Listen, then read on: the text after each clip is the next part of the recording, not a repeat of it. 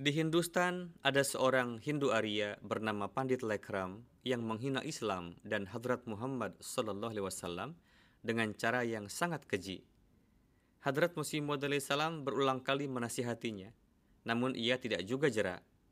Atas hal ini, beliau alaihissalam lalu berdoa di hadapan Allah Ta'ala. Kemudian Allah Ta'ala mengabulkan doa beliau alaihissalam dan mengabarkan bahwa musuh Islam yang bernama Pandit Lekram ini akan binasa dalam tempo enam tahun.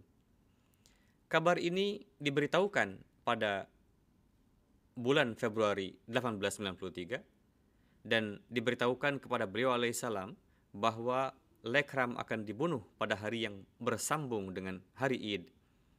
Walhasil, hari Jumat 5 Maret 1897 bertepatan dengan hari Id Keesokan harinya, hari Sabtu, yakni 6 Maret 1897, pada pukul 6 sore, Pandit Lekram sedang duduk di rumah. Seseorang menyerangnya dengan pisau belati. Ia lalu dibawa ke rumah sakit dan pada pagi hari tanggal 7 Maret ia meninggal. Pada saat diserang, ia sedang duduk menulis sesuatu di rumah. Di rumah ada istri dan anaknya.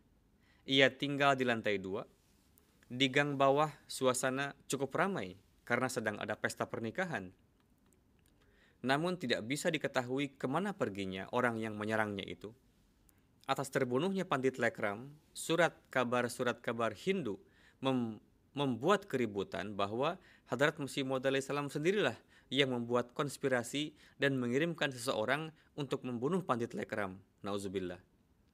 Oleh karena itu, Polisi lalu menggeledah rumah beliau alaihissalam, namun tidak menemukan jejak atau bukti apa pun.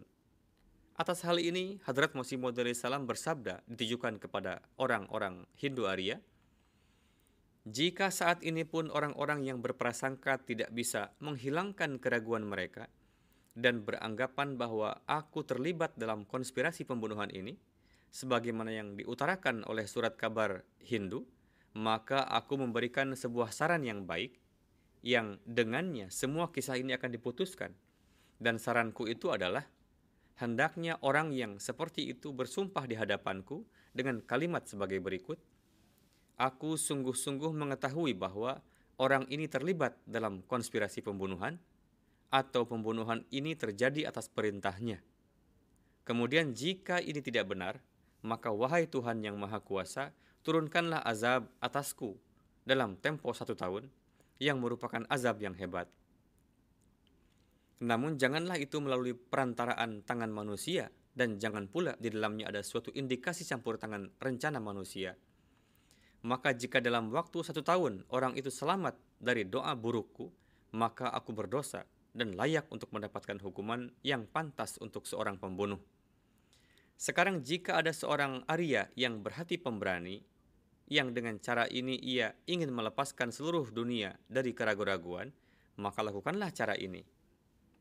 Selain itu, beliau alaihissalam menulis pada selebaran tang tanggal 15 April 1897 bahwa jika orang yang bersumpah itu tidak binasa dalam jangka waktu satu tahun, maka aku akan memberinya hadiah 10 ribu rupis.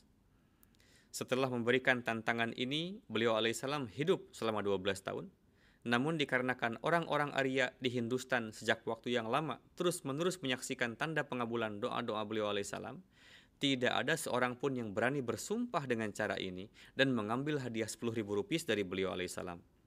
Wujud yang mengabulkan doa beliau alaihissalam itu dan memberikan kabar kepada beliau alaihissalam mengenai kematian pandit itu sebelum terjadinya, wujud inilah yang kita namakan Tuhan.